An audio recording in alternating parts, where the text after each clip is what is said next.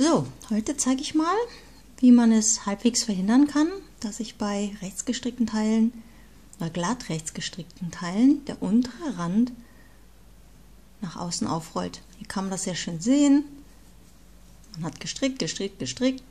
Dieser untere Rand rollt sich immer ein.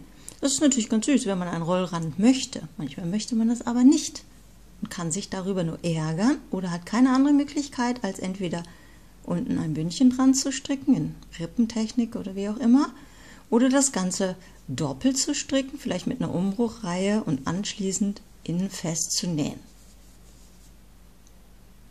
Ist ärgerlich, weil manchmal möchte man ja gar nicht so einen dicken Rand unten haben. Habe ich bisher immer so gemacht, braucht ein bisschen mehr Garn, ein bisschen mehr Arbeit, geht auch. Aber es gibt auch eine andere Möglichkeit, das Ganze zu machen. Warum passiert das eigentlich? Warum rollt sich denn der untere Rand auf? Das liegt daran, dass die rechte Seite oder die rechten Maschen sich in der Breite zusammenziehen und eher nach oben elastisch sind. Also hier zieht es sich in der Breite zusammen. Dreht man das Ganze jetzt um, sieht man die linken Maschen. Die ziehen sich eher der Länge zusammen, werden also kürzer. Das heißt, die linke Seite ist kürzer als die rechte Seite. Merkt man daran, wenn man mal ein glatt rechts gestricktes Teil anzieht, beziehungsweise falsch rum anzieht, merkt man, es ist plötzlich weiter, aber kürzer, als wenn man es so rum anzieht.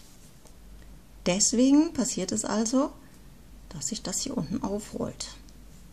So, jetzt ist es natürlich, gibt es zwei Möglichkeiten. Entweder man verkürzt am unteren Rand die rechte Seite oder man verlängert einfach mal die linke Seite, damit es vorne und hinten einigermaßen gleich lang ist.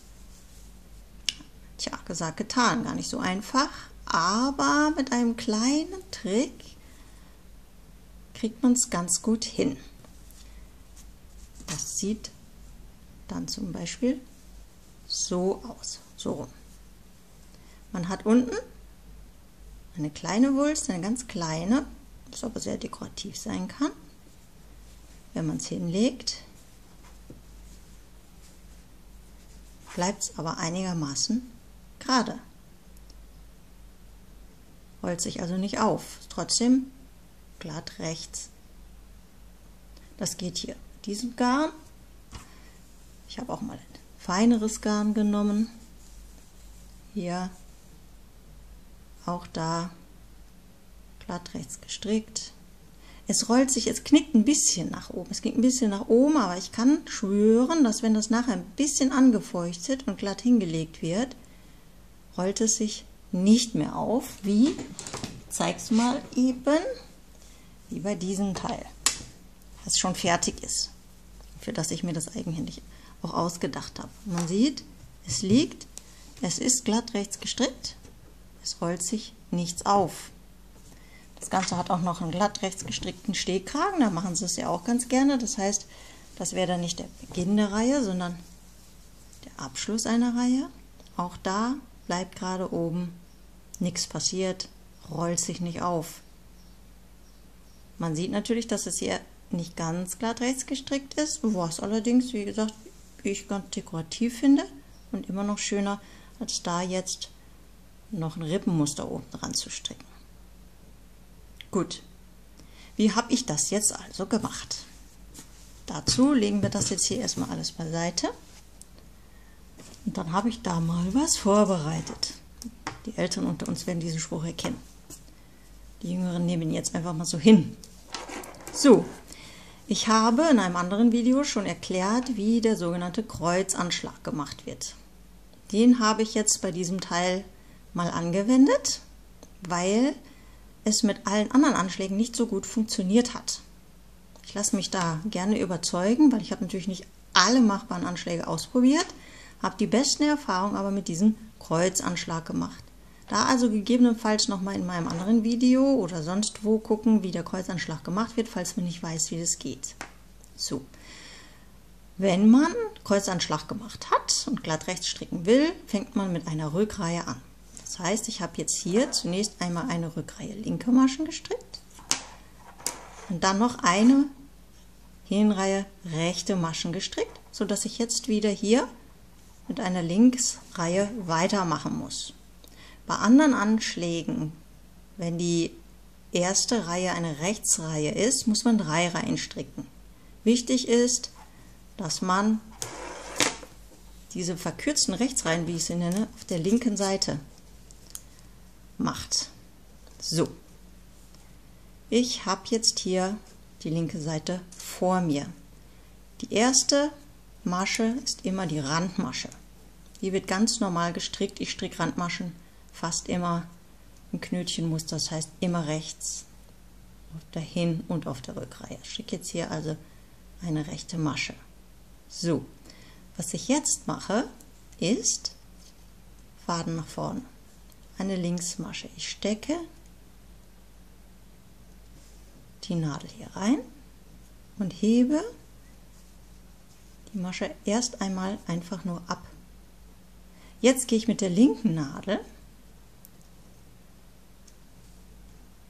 unter das zweite Nupsi von oben hier, von der, link, von der linken Masche. Das hole ich mir jetzt auf diese Nadel. So, lege die zweite wieder zurück und stricke beide zusammen. Links ab. So. Noch einmal. Ich hebe diese Masche ab gehe mit der linken Nadel hier das zweite, den zweiten Querfaden von oben, heb den hoch, leg die Masche dazu, gehe hin und stricke die Masche, beide Maschen links ab. So. Also abheben zweiten Querfaden von oben nehmen, beide zusammen und links abstricken. So, ich hoffe, man kann das einigermaßen gut sehen. Mach's nochmal. Ich heb's ab. So. Nehme jetzt nicht diesen hier, nicht den, der direkt, wo, wo die Schlaufe durchkommt, sondern die Schlaufe darunter nehmen hoch, beide zusammen, einmal den Faden drum und links stricken. Fertig. So, das machen wir jetzt mal bis zum Ende durch. Die letzte Masche ist wieder die Randmasche und wird ganz normal gestrickt. So, und so sieht das Ganze dann aus, wenn wir mit der Reihe fertig sind. Jetzt machen wir gar nichts weiter als das, was wir immer tun. Wir stricken das Teil glatt rechts weiter bis nach oben. Wir müssen das nicht nochmal machen. Also wir müssen jetzt nicht nochmal diese verkürzten Reihen machen. Soweit ich die Erfahrung gemacht habe, reicht es, wenn man es einmal macht. So, die Glattrechtsreihen sind noch zu sehen. Es ist hier eine ganz, ganz kleine Wulst drin, weil wir haben jetzt einfach mal die rechte Seite ein bisschen verkürzt, indem wir sie wieder nach unten gezogen haben. Hat jetzt den Vorteil, dass rechts und links die Reihen wieder ungefähr die gleiche Länge haben und deswegen der Rand sich nicht mehr aufrollt. Außerdem wird er durch diesen kleinen Wulst auch, auch gestoppt kann sich also hier unten gar nicht aufrollen. Deswegen ist es wichtig, dass man das gleich ganz unten macht und nicht erst, was weiß ich, 10 Reihen hochstrickt, beziehungsweise 9 Reihen hochstrickt und, ähm, und dann diesen Wulst einarbeitet. Erstens sieht es dann nicht so schön aus, unauffälligsten ist es noch hier ganz unten und zum Zweiten rollt sich dann der untere Teil wieder ganz normal auf, wie man es halt kennt. So, und so sieht es dann aus, wenn man ein paar Reihen weiter gestrickt hat glatt rechts, das hier unten bleibt, wo es hingehört, gerade, rollt sich nicht auf und wie gesagt, nachher, wenn es noch ein bisschen angefeuchtet wird, passiert garantiert dann überhaupt nichts und ist es noch gerader. Also eigentlich eine wunderschöne Möglichkeit, diese glatt rechts gestrickten Teile am Aufrollen zu hindern, sofern man wirklich einfach mal eine gerade Jacke, geraden Pullover, gerades Top haben möchte, ohne ein Bündchen dran zu stricken. Das gleiche funktioniert übrigens auch dann ähm, am Abschluss einer Arbeit, wenn man also zum Beispiel einen Stehkragen haben möchte. Das heißt, glatt rechts, der sich dann oben auch nicht nach außen aufrollen soll. Dann macht man es halt einfach so, dass man in der Reihe vor dem ähm, Abketten das Ganze nochmal macht. Also eine verkürzte Rechtsreihe strickt, oben noch einmal und dann in der Reihe darauf alle Maschen abkettet. Hm? Das, wie ich das eben schon gezeigt habe, sieht dann so aus. Andersrum. Da ist dann hier nochmal eine verkürzte Rechtsreihe gestrickt, bevor dann hier oben alle Maschen gleichmäßig abgekettet worden sind. Ich denke, das ist eine ganz nette Möglichkeit, auch mal einfach glatte Teile zu stricken und sich nicht über den ungewollten äh, Rollrand aufregen zu müssen, wie es mir oft passiert.